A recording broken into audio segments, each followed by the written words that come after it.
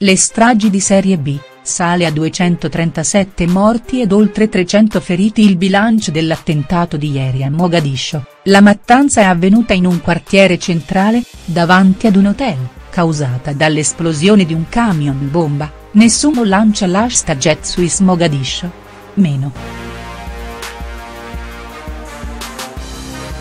Sale a 237 morti ed oltre 300 feriti il bilancio dell'attentato di sabato a Mogadiscio.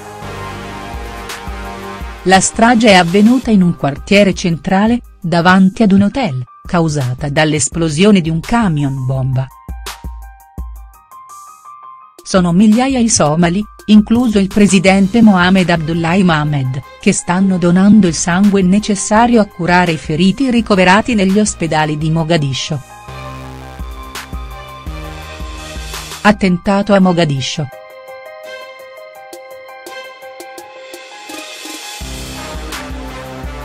Sono due i camion bomba esplosi ieri sera davanti ad un hotel a Mogadiscio. Lo riferisce il New York Times.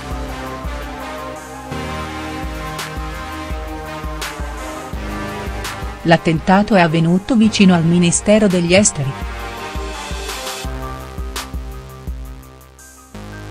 La strada in quel momento era molto affollata e la deflagrazione ha anche fatto crollare in parte il Safari Hotel, intrappolando decine di persone sotto le macerie, oltre a danneggiare diversi edifici vicino tra cui l'ambasciata del Qatar.